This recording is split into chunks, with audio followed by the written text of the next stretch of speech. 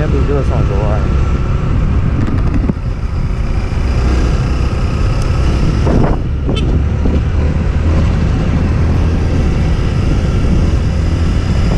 Olha, o carro parecendo carreto. Tá abrir do jeito que é que tá abriu aí pra entrar na Vila